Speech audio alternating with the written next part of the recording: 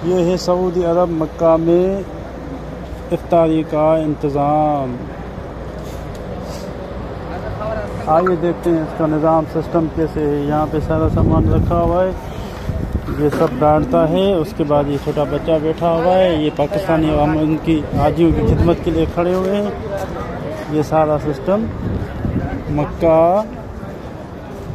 हवाली में है। इमरान भाई, क्या हाल है? ठीक है? और ये शोरबा बट रहा है। देखते हैं चेक करते हैं ये शोरबा कैसे मिलता है। शामों को पहले बारिक करो क्योंकि इनका अपना उसके बाद हम यहाँ इफ्तारी करने आए हैं। इफ्तारी में क्या मिल रहा है? ये सब कुछ। अस्सलाम वालेकुम भाई साहब। चावल लिया। चावल लिया। देखा देखा।